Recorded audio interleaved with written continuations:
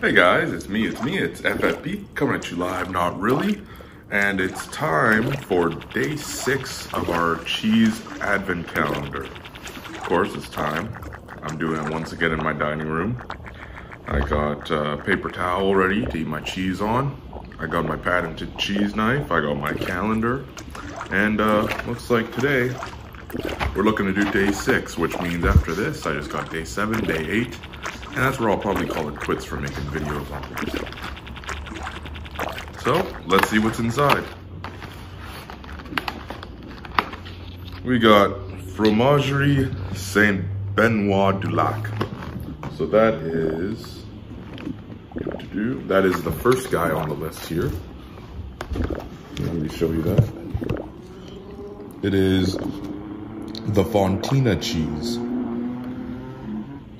So, we'll see what that tastes like.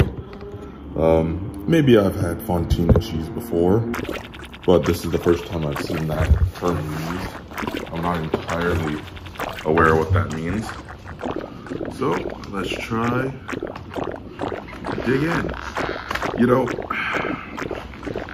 I really wish there was like a rip tab so I could just tear these cheeses out, but I really have no idea how to open these other than cutting them.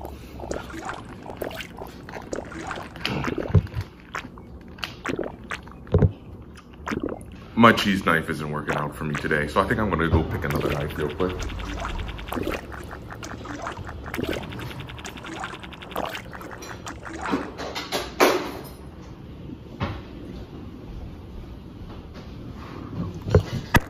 Oh, my, no. This is what happens.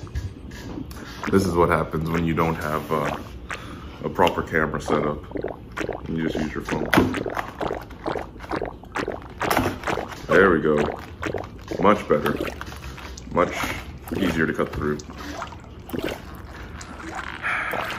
So, I guess while I pull this out, how's your guys' uh, last week of the semester been? Mine's been alright. I just got one last exam. And then I'll be done Friday, but you know, work is gonna start getting busier, so you get some trade-offs. So this is the Fontina cheese. It's, I think it's gonna just be pretty mild. I'm guessing a lot of these cheeses either just gonna be like cheddar or mild. This one's slight, firm, slightly squishy.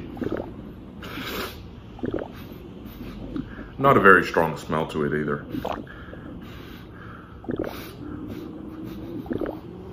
It's um, it's not a very strong smell, but it reminds me of yesterday's cheese. So, slice it open. This is what the cheese looks like. Does it look good? I hope it looks good. I hope it tastes good.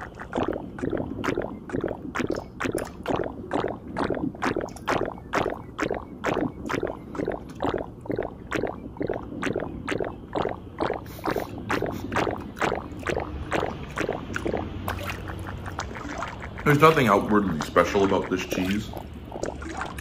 It's just kind of like what you think of cheese being in terms of being generic, but it's generic in a good way that tastes like cheese. Um, it has like that kind of saltiness, cheesiness without being too much. Um, almost reminds me of a dry cheese flavor if it wasn't dry. It is quite palatable, quite tasty. And uh, yeah, it was good cheese. You guys are gonna see these videos are gonna get really short because I really got nothing to say to you other than to keep watching my videos. And so, with that, my friends, I'll take one last bite of this cheese and you guys can watch me eat. I can watch myself eat I can see myself recording there. And uh, yeah, hope you guys have a good day. This has been Flash Fire Prime, signing out.